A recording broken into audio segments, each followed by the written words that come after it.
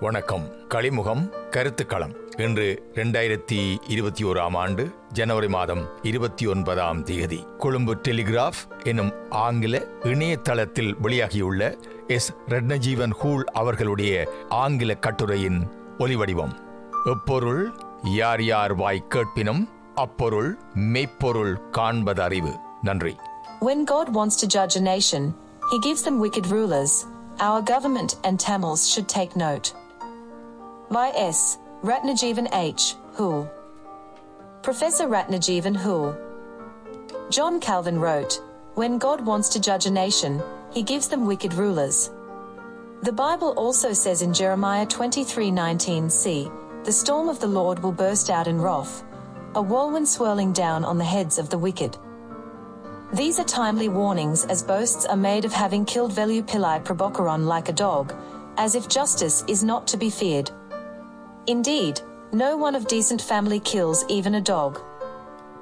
That divine warning, as this article puts forward, is indeed, besides to the government as we Tamils like to think, also to the Tamil people. We Tamils have feared and suffered much. We badly want an understanding government where we will have a say in our own governance and services and receive justice. That is democracy. I will point out our own deficiencies so that we through correction may claim our right to devolution. We have failed to run the Jaffna Municipal Council. It has a new mayor after Emmanuel Arnold lost the budget vote. If the new mayor had also lost the budget vote, the council will have been run by a commissioner removing our devolved powers exercised through our elected officials. That is how close we were to lose our last bastion of democracy when the budget was passed on the 27th of January. Jaffna Town Hall was destroyed by the LTTE in 1985 when it attacked the neighbouring police station. As such, it is very difficult to find a good photo of it. Photos of the library burnt down by our government are everywhere and often presented as the original council building. Sri Lanka is rebuilding the council, but hardly 25% of the work is finished. India built us a cultural hall for 2.25 rupees BN. It has been finished for six months. But we are not ready to take over because we are not ready with running costs. Our international airport with Indian help is closed. No one cares. The situation is the same everywhere. The UNDP gave billions to our province. Then Chief Minister C.V. Wigneswaran was refused permission to appoint his Australian kinsman Nimilan Karthikeyan in charge because of a conflict of interest and blamed by the UN for lobbying on his behalf. Wigneswaran then returned the funds in a huff. Provincial Health Ministry doctors have only six hours for day duty, and they do not even work six hours. Doctors and nurses are allowed 120 and 200 hours overtime, respectively.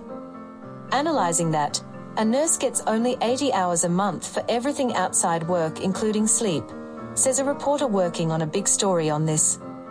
The province has 99 hospitals. 19 have no doctor. Of 30 to 35 new doctors, only two were posted to hospitals without doctors. A near new ambulance belonging to Northern Province Health Ministry went to Colombo. On the way back, it met with an accident in Kurunegala. Cost of repairs is 18 rupees lakhs. Director of Health Services Dr. A. Ketheswaran asked the secretary for money. When asked why, when the vehicle was fully insured for five years, his reply was that, according to reporters, the insurance company refused. Not trusting his lieutenants, the secretary pursued it. It turns out that the police report said the driver was drunk.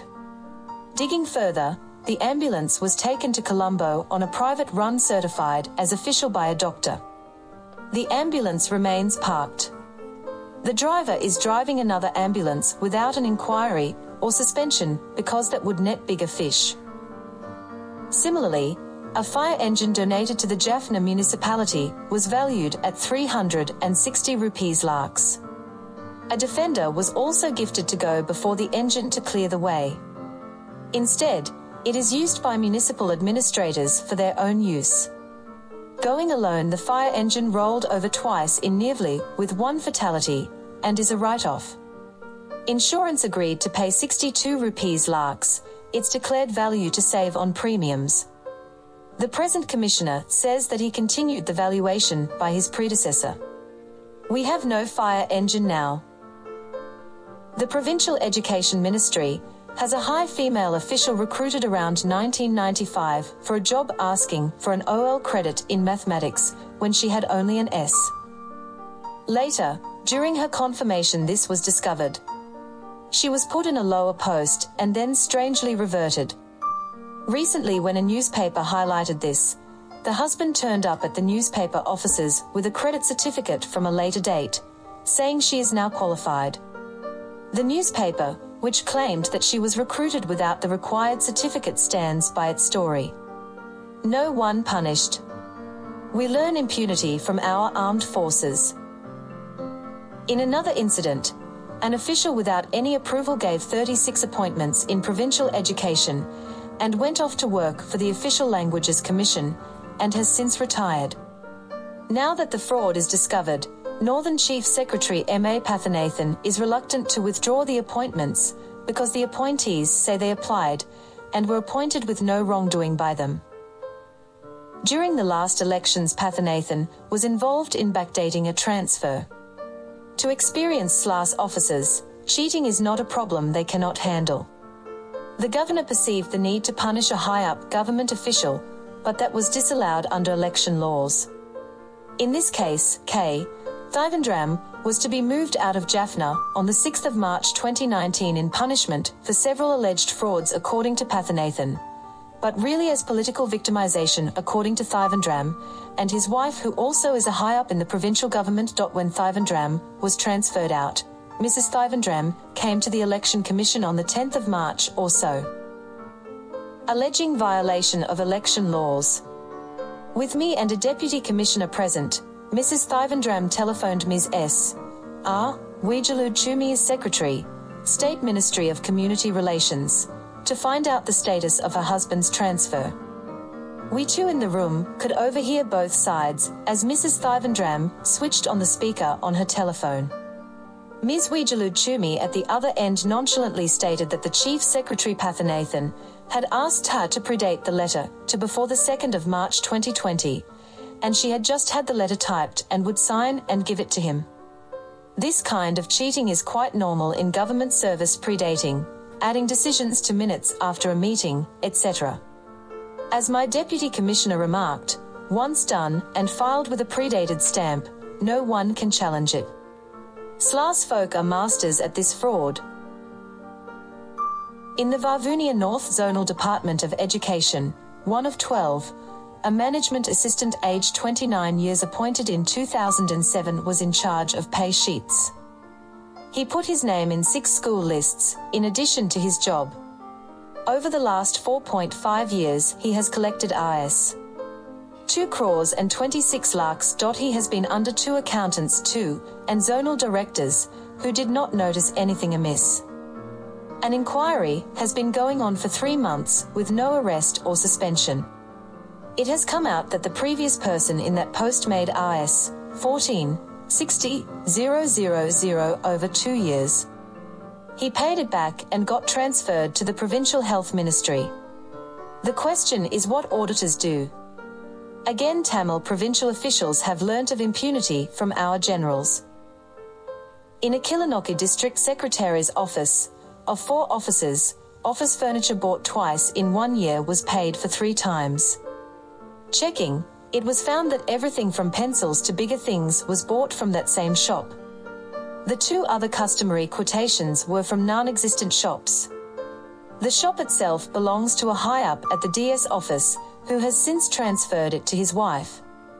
People I spoke to were reluctant to give personal details, saying his wife and two daughters at the university are poor things.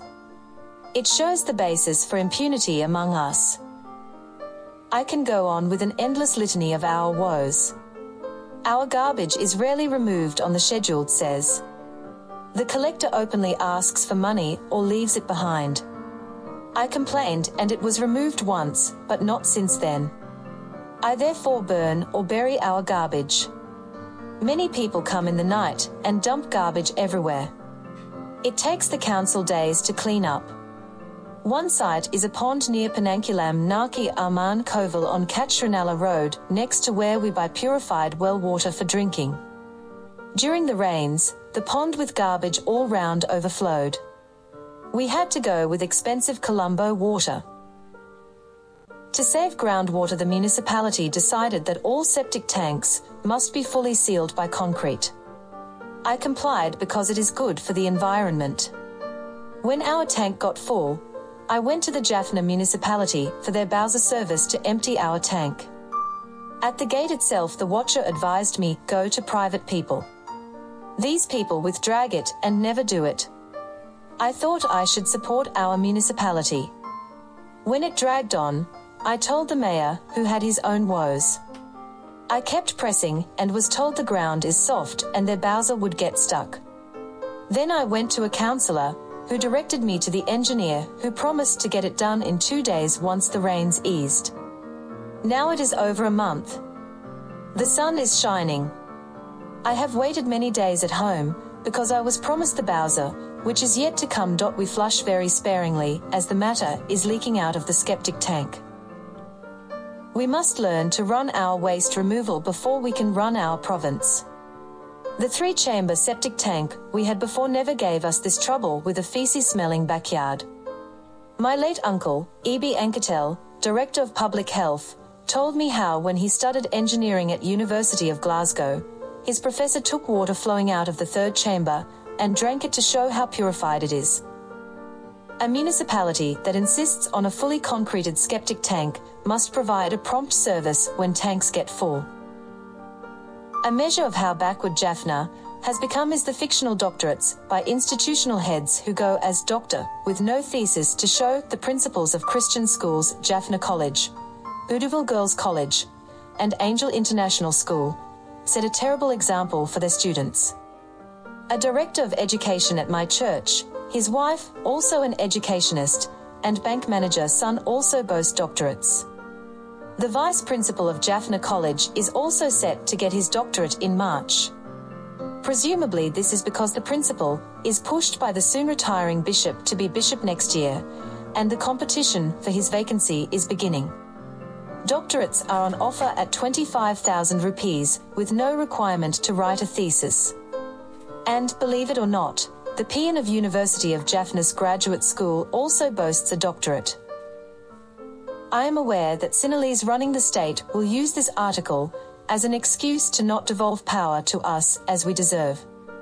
But I say that although God may not punish us for uncleared septic tanks, he surely will for impunity for fraud and murder, for pardoning the murderer of a five year old child in Mirusuvil. This article is merely a call to get our things in order so that we may rule ourselves with justice and efficiency when we are allowed self rule or we will have IS, 25,000 PhD holders running our northern provincial government.